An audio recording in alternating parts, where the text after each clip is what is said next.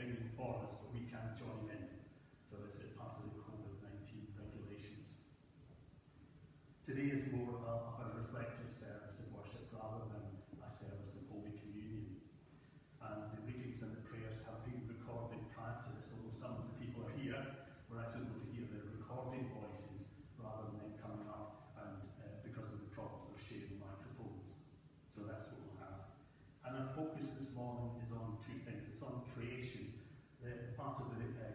Genesis chapter 1, where we hear about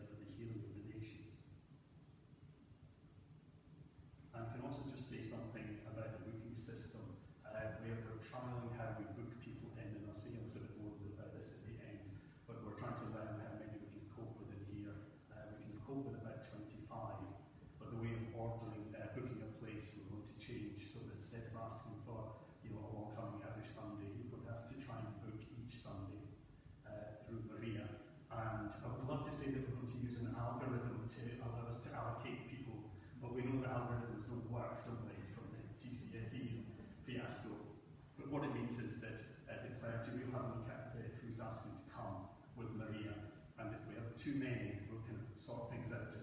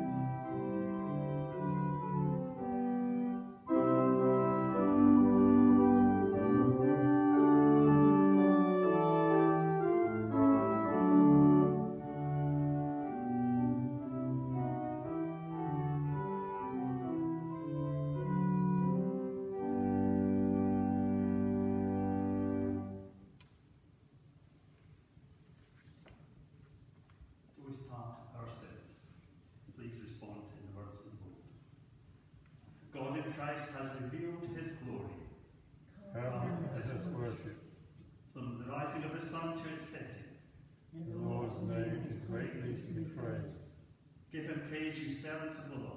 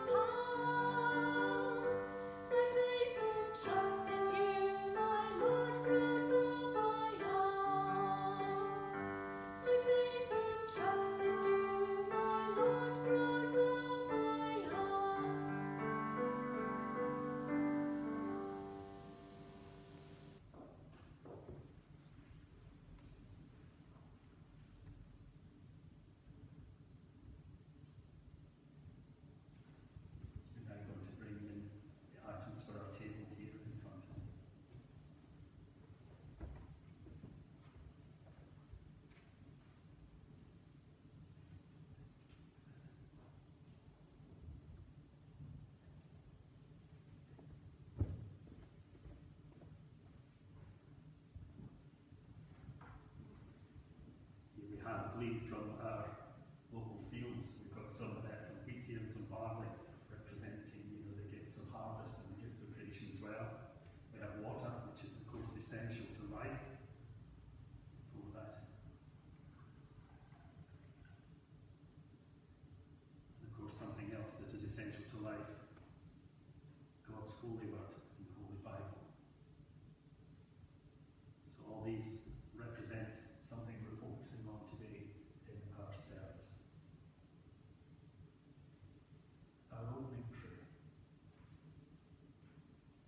We praise you, living God.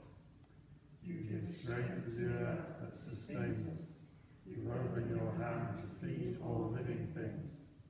We praise you, Lord Jesus Christ. You teach us with stories of seed and weed and harvest time. You call us to accept your word and bear much fruit. We praise you, Holy Spirit, fire of love and presence of baptism. You are the bread of life in every creature. You refresh our thirsty souls with grace.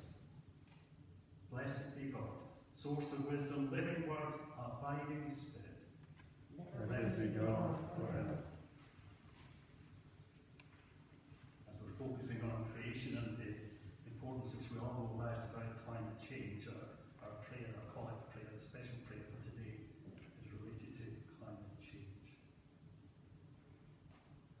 Holy God, earth and air and water are your creation, and every living thing belongs to you. On us as climate change confronts us.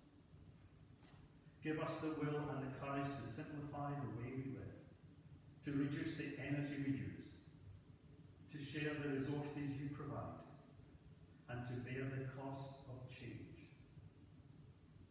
Forgive us our past mistakes, and send us your Spirit with wisdom in present controversies and vision for the future, to which you call us in Jesus Christ our Lord. Amen. Now we know that although we've been given stewardship of creation, we have uh, really from the very beginning failed to actually exercise that role that, that God gave us. And so we always come before God in our services to say sorry for the things that we do wrong. So we, we come before Him now in our time of penitence. We confess our sin and the sins of our society in the misuse of God's creation.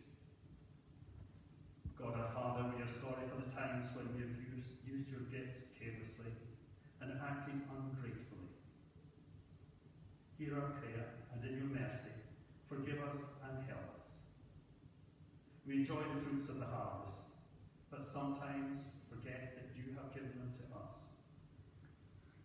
Father, in your mercy, forgive us and help us.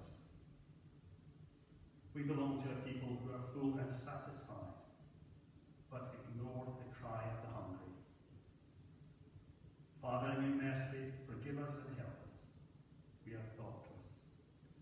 Father, Father, in your mercy, forgive us and help us.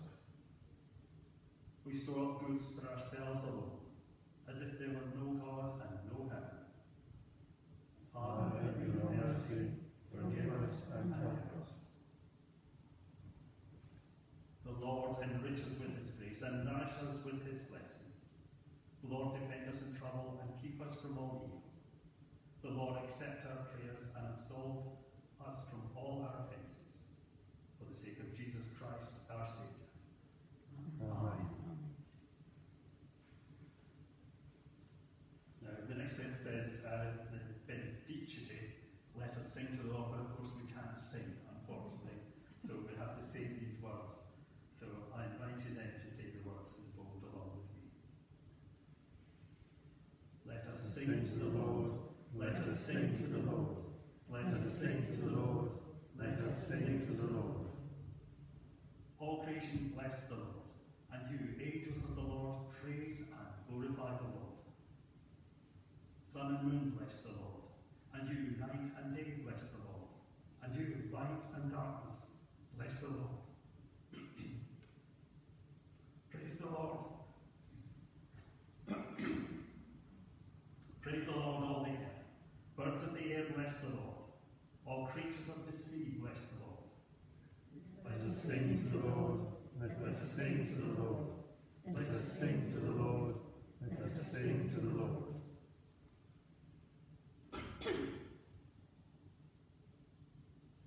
Fire and hail, bless the Lord. Snow and frost, bless the Lord.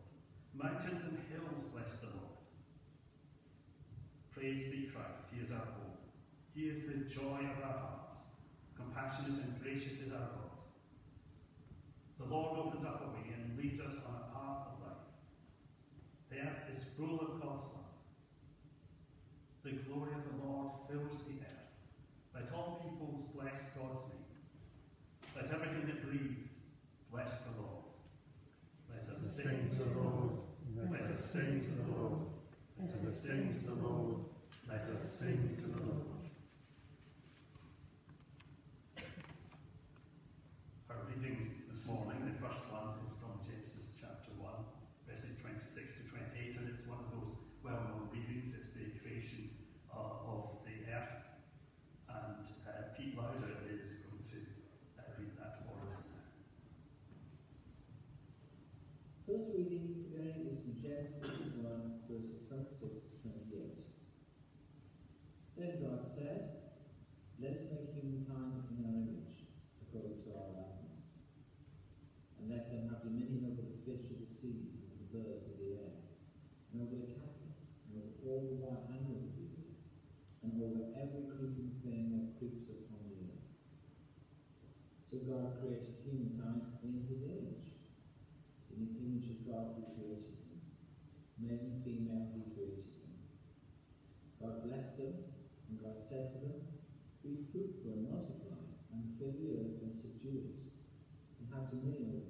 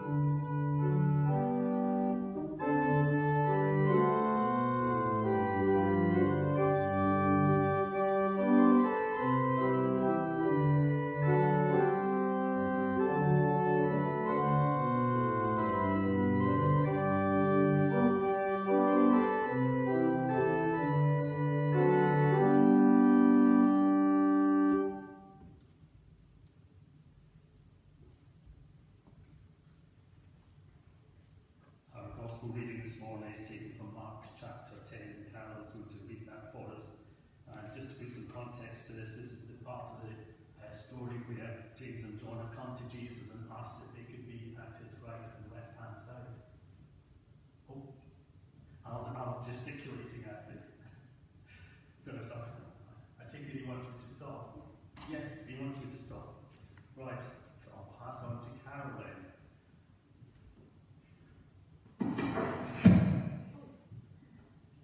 A reading from the Gospel of Mark, chapter 10. When the ten heard this, they began to be angry with James and John. So Jesus called them and said to them, You know that among the Gentiles, those whom they recognize as their rulers lord it over them, and their great ones are tyrants over them.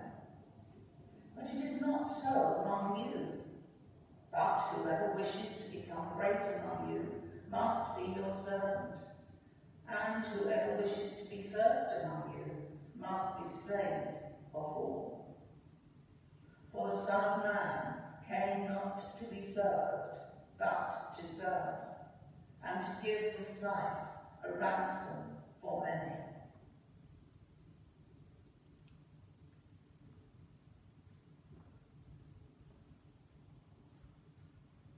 Thank you, Carol. I think Carol said White House would reveal something that was in his sermon. Is that right, Carol?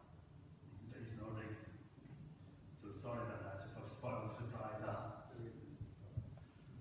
Okay, so I'm just going to ask Carol to come and uh, lead us with some of his words as opening the Bible for us. Thank you, Carol.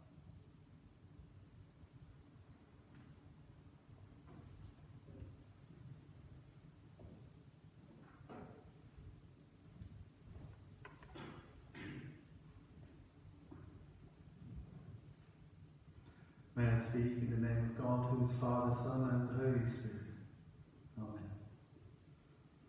Creation time may be a new season for many of us. It certainly is for me. But I find it a wonderful opportunity to reflect on all that we have been given and what we have done with those gifts. This Sunday has the title Humanity Sunday. Now that opened the doors quite a bit for me to think about this talk. However, the gospel always speaks into our hearts, and the readings have allowed me to focus that down. So I'll be stood here for 10 minutes rather than two hours. God created us in his image and his likeness. He has offered us everything, given us everything. He has told us to populate creation and to care for it gave us responsibility for creation. And to quote Spider-Man's uncle, with great power comes great responsibility. With great power comes great responsibility. How do you think we've done? What have we done with the dominion that God has given us over creation? I also wonder if we ever think about what that word dominion actually means. One of the many definitions of it is to, means to rule over nature. The Christian premise that uh, humans are in charge of the world on behalf of God. On behalf of God. Yet many of the rich and powerful, many governments take a literal interpretation of this word believing that this gives humankind the right to use the world's natural resources for their own benefit and power. That is a skewed view, and I feel we have lost the idea of balance in the things that we do, both with each other and across the world. God loves us so much, gives us so much. Why then are we not content to hold the treasures of creation in balance? Tonight on television, one of our national treasures, David, David Attenborough, is going to speak about extinction of species, about what we're doing to the world. I have no doubt the show will be harrowing to many and may spur some of the human race into action. And I also wonder how you might feel to see creation given to us to care for, so violently torn apart as the human race seeks to gain empty power and wealth. It is upsetting and frustrating and costs so much to so many who have so little in the first place. The question is, are we able to accept our part in this as Christians? How do we make a difference as Christians? How do we as Christians encourage change? I'm not without fault in all of this at all. I can only give you one small story because there are very many. But in my mid 30s, I wanted all of my furniture, both inside the house and outside of the house, to be made of tropical wood. It was the fashion. And I wanted more things. More things than I've ever really needed. Much of that furniture has now been disposed of, one way or another. But mostly it's been wasted. As I reflect on those times, I just wonder why. And that is my fault. And I take the blame for those choices. So as the human race continues to look inward, we can start to blame previous generations.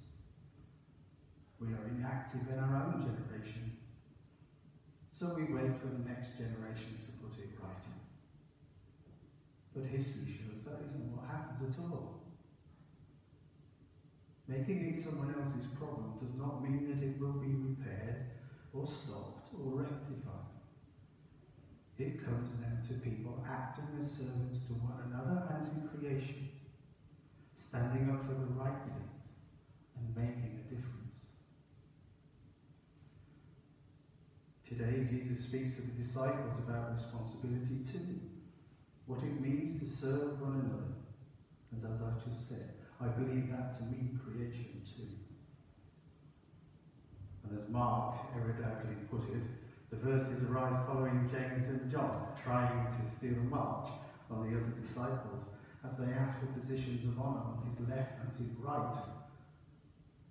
When Jesus speaks to them about that, it's not that he can't have that chair or that chair. He's looking to the cross. Will these people be able to be on the left and the right of him on the cross? But of course, the other disciples are human like the rest of us, and they take unkindly to this and argue about who should and who shouldn't be seated on the power the power thrones around Jesus. And I started to wonder how, how often do we feel sorrow for Jesus? Course, we feel sorrow for him throughout the Passion to that glorious Easter morning. But I wonder, as a group of people who he's loved and taught, hold so close to arguing about earthly things. And that is no different in the church today. We continue to disagree over so many things, often things that will probably be of little importance to God. If this frolic of our own causes us to take our focus away from the word of Jesus and his teaching, how are we going to further the kingdom of God? So Jesus is trying to get the disciples to understand that he will not be with them much longer. And the mission of the gospel, the good news, will be theirs. And it's going to be uncomfortable. He tells them not to act as the Gentiles do. Here I understand that this also means those who do not look or listen for God in their lives, but asks them to act in the way of a servant and to make a difference to God's world. An example of one disciple's service is Peter. Peter often caught a glimpse of the wonder of God, yet within minutes He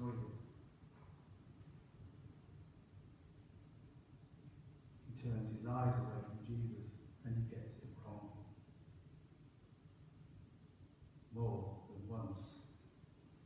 Being a servant means carrying a burden, just as Jesus bore uh, his cross. He extols us to do the same thing. Being a servant, being a disciple of Jesus Christ, and taking up our cross means walking life's. So we must keep our focus on Jesus.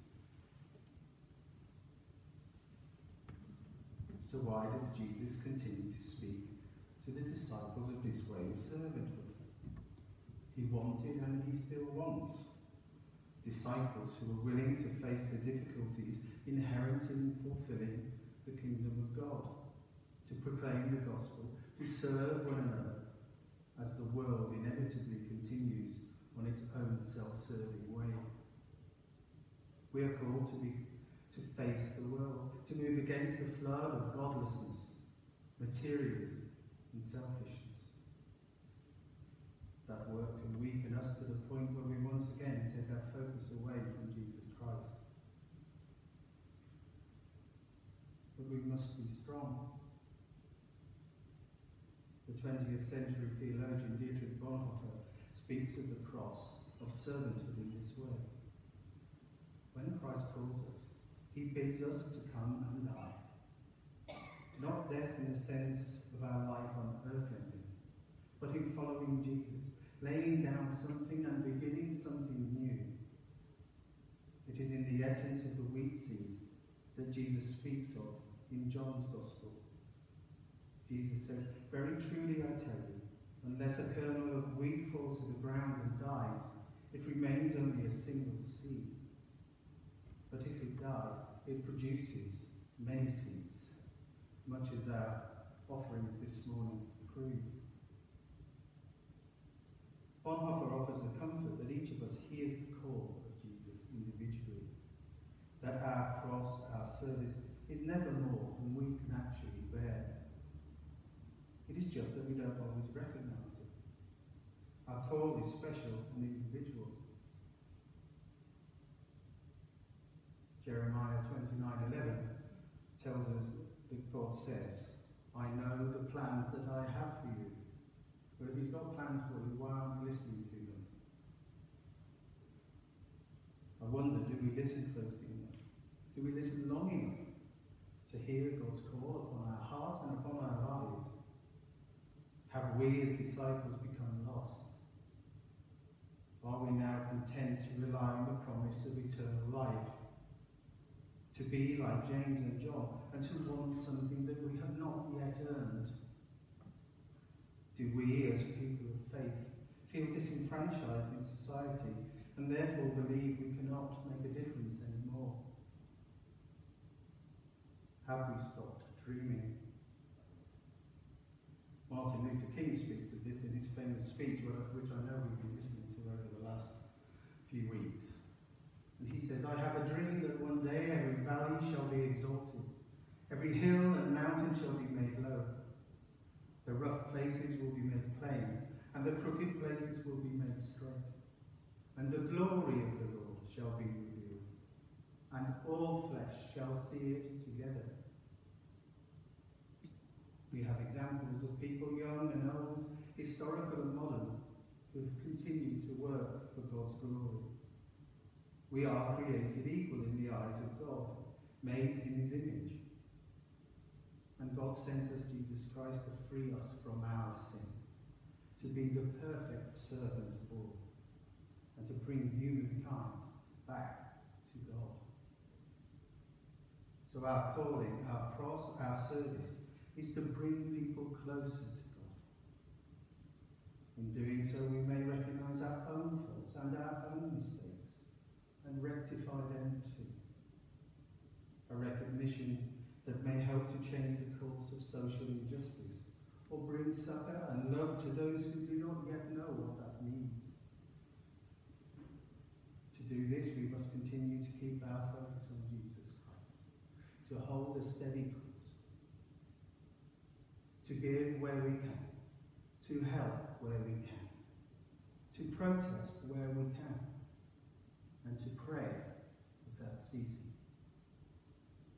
Martin Luther King had a dream. I ask you, do you still dare to dream?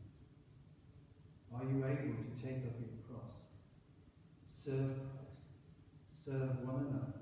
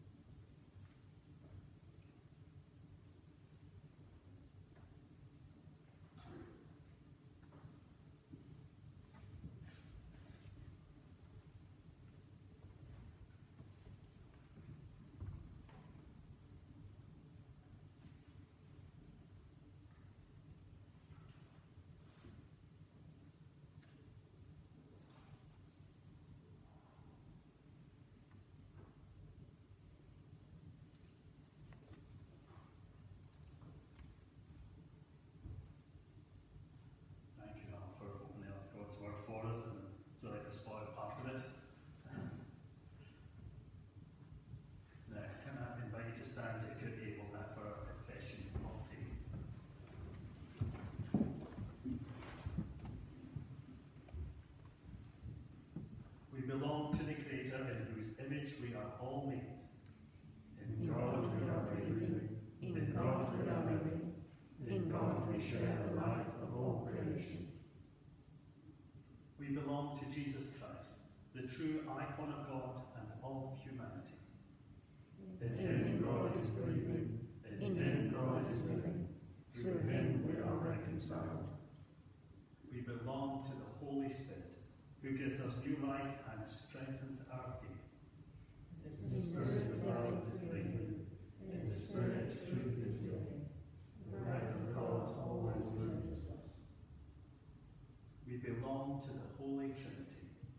one and all.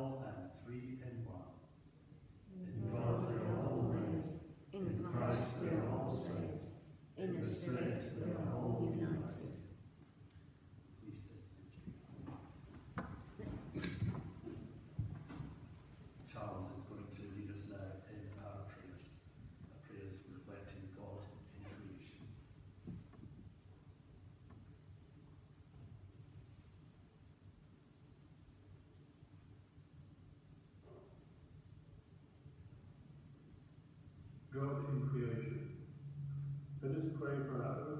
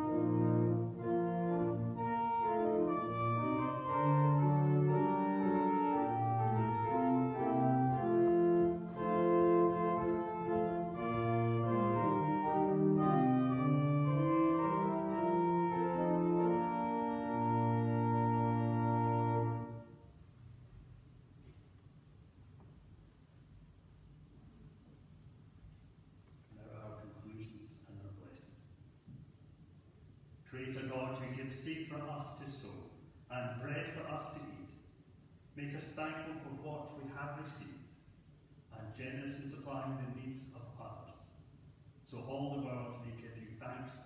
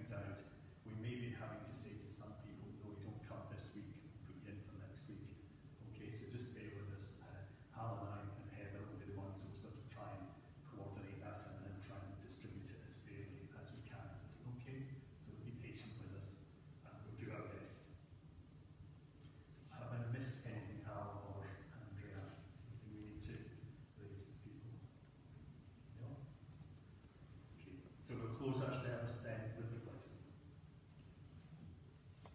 Go in strong and growing faith. Trust in the tenderness of Christ to heal a bruised and broken world. Thanks be to God. Go in eager and refreshing hope. Work with Christ risen from the dead to fulfill the promise of new creation. Thanks be to God. Let us go in peace to treasure and to tend the world God made and loved. In the name of Christ. Amen.